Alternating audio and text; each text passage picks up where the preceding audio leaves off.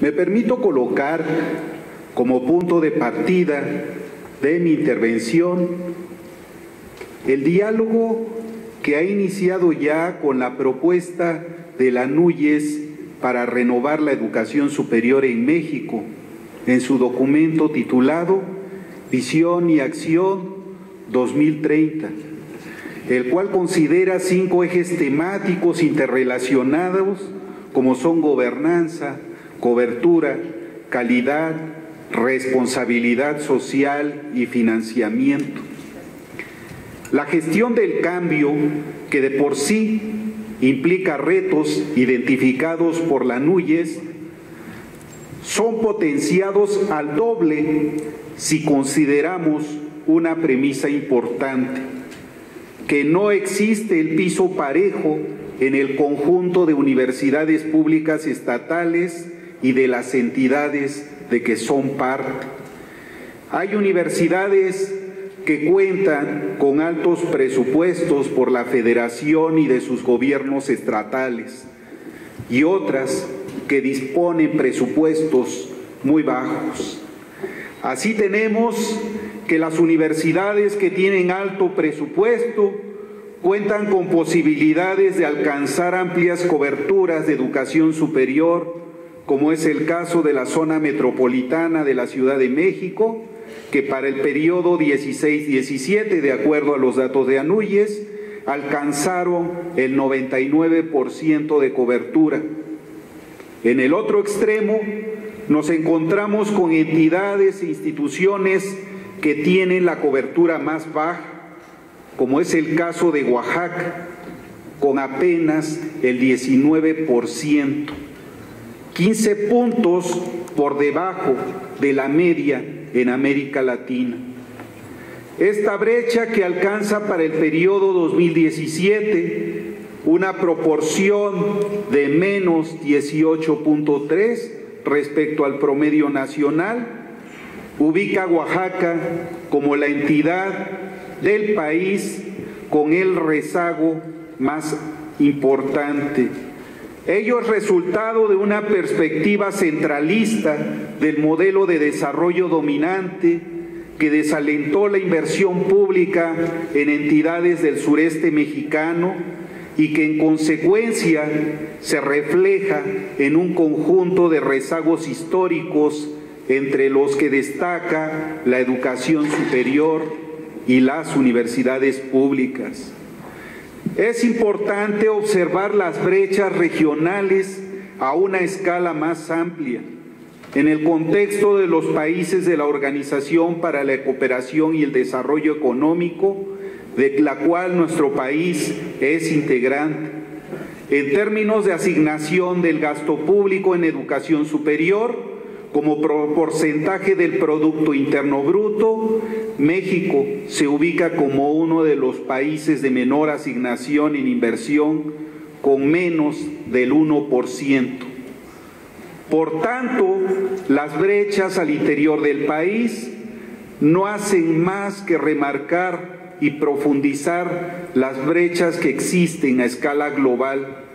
que implica la necesidad de disponer de una política pública de compensación de rezagos para remontar los problemas acumulados entre regiones y entre instituciones de educación superior.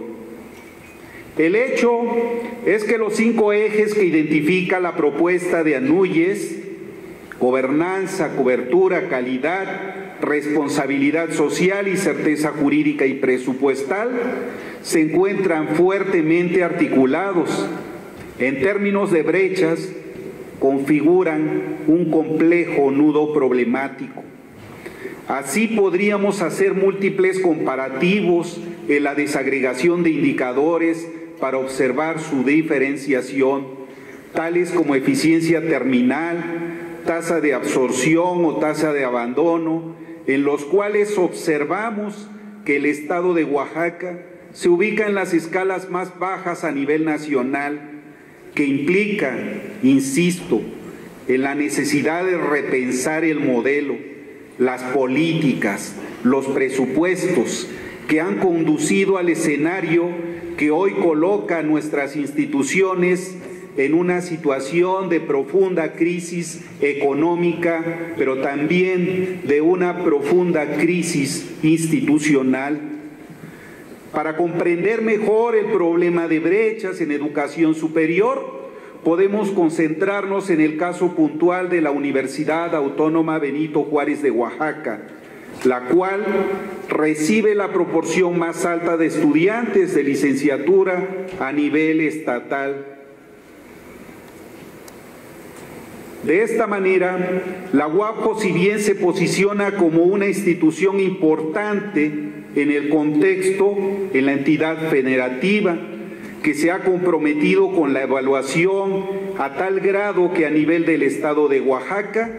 nuestra universidad concentra el 78% de su matrícula en programas de calidad reconocida por CIES, por COPAES. Sin embargo, el esfuerzo de evaluar y alcanzar indicadores de desempeño no es compensado por la asignación del presupuesto debido a que la UAPJO es una de las instituciones de educación superior que ha recibido la inversión más baja en el conjunto de las universidades del país, de menos de 40 mil pesos por año por estudiante, incluso por debajo de la asignación que reciben otras universidades estatales de creación reciente. Los estudiantes de la UAPJO reciben menos del 40% de los que reciben sus similares de la UNAM. Además, la UAPO se ubica como una de las universidades estatales que recibe la aportación más baja por parte de su gobierno estatal en la composición de su presupuesto, que corresponde a menos del 11%, mientras que la federación absorbe el 89%. Cabe señalar que la media de las aportaciones estatales es superior al 30% y en algunos casos hasta del 80%, como algunas instituciones de la zona metropolitana de la Ciudad de México. Esto lleva a plantear la exigencia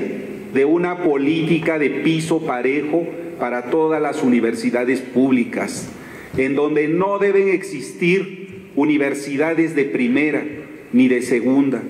pues desafortunadamente en este segundo segmento se ubica nuestra institución, la cual resiente de manera progresiva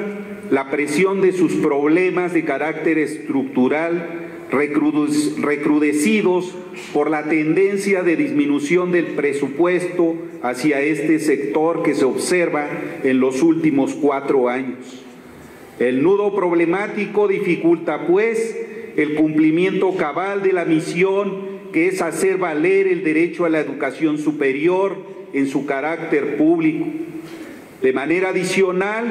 el conjunto de rezagos acumulados que amenaza la viabilidad institucional de nuestra universidad tiene como corolario la fragilidad de su gobernanza. Si consideramos que en nuestra institución se encuentra una alta proporción de plantilla no reconocida por la Federación de Trabajadores Académicos y Administrativos de más del 60%. La fragilidad se muestra de manera sustantiva en la precariedad de salarios, las movilizaciones sindicales de legítima defensa del trabajo que se han convertido en las rutinas en la nueva cotidianidad de nuestra universidad, de diversas expresiones que coinciden en no dar paso atrás en sus reivindicaciones laborales, pero que enfrentan una situación de contracción del presupuesto universitario. Por ello es urgente y necesaria una política de corresponsabilidad que respalde los compromisos y expectativas de la comunidad universitaria en la dignificación del ingreso y del trabajo, que asegure el cumplimiento del objetivo de brindar educación de calidad y ampliación de cobertura hacia los sectores socioeconómicos más desfavorecidos del estado de Oaxaca. La corresponsabilidad implica compromisos de autoridades federales, estatales y de la propia universidad para abatir las inequidades y desigualdades en el sentido que se ha trazado la comunidad universitaria, pero sobre todo una visión de Estado al más alto nivel para que la universidad pública pueda posicionarse por su alta responsabilidad social en la agenda nacional. Como rector de la Universidad Autónoma Benito Juárez de Oaxaca, saludo la iniciativa del rector de la Universidad Autónoma de Zacatecas de emprender una gran alianza por la dignificación de nuestras universidades estatales, por la defensa de la educación pública, por la defensa de nuestras universidades. Gracias.